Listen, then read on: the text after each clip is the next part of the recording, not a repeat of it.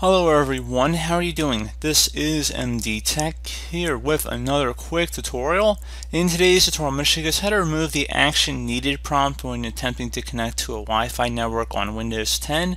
So if you're trying to connect to a Wi-Fi network or perhaps you're getting just a little notification down in the bottom right corner of your screen and it says that action is needed and it might say continue connecting with a question mark and then if you're expected to find an ITS continue connecting with a question mark.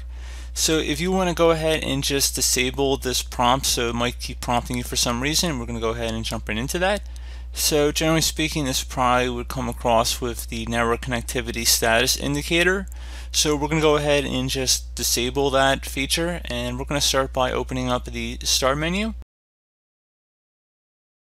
type in regedit, so R-E-G-E-D-I-T. Best match Circumbacker Registry Editor. You want to go ahead and right click on that and then select Run as Administrator. If you receive a user account control prompt, you want to go select Yes. Now before you proceed in the registry, I would highly suggest you create a backup of it. So if anything went wrong, you could easily restore the registry back. In order to create the backup, it's very simple. Just go ahead and left click on the File tab, select Export, for file name, I would recommend naming it the date in which you are making the backup. Save it to a convenient location on your computer and export range should be selected to all and then just select the save button to finalize that save. And then once that is done, you're ready to begin and we're going to expand the HK local machine folder. So go ahead and double click on that. Double click on the system folder. Do the same thing for current control set and now same thing for services and now you want to look for something that says NLASVC should be a capital N out front so shouldn't have to go down too far but right here. So NLASVC and now you want to expand that. Expand the parameters folder underneath of that and there should be an internet folder. So just go ahead and left click on that. Now if we expand the column over here on the right side, there should be something that says enable active probing. You want to go ahead and double click on that. So by default, the value is set to 1. So just keep that in mind. This is the only thing we're going to be changing here. So if for some reason something goes wrong, you want to go back to how it was, you can change it back to 1. You could restore the registry. So giving you guys two different options there. Honestly, this is the only thing we're changing. So the default value is 1. We're going to go ahead and change it to a 0 for the purpose of this tutorial of how to turn it off. And then we're going to go select OK.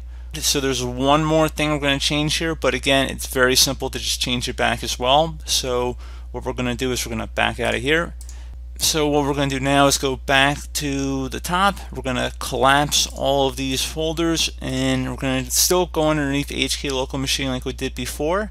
But now we're going to go underneath software. So go ahead and double click on that. Now there's going to be a policies folder. Double click on that. Microsoft, double click. Windows, you want to double click on that as well.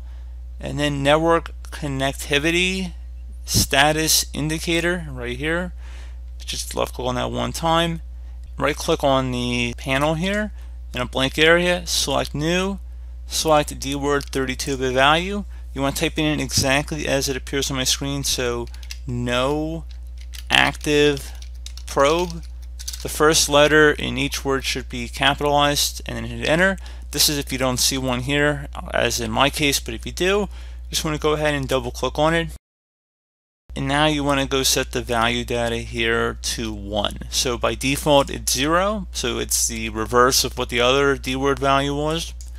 And we're going to go change this one to the number 1. Select OK.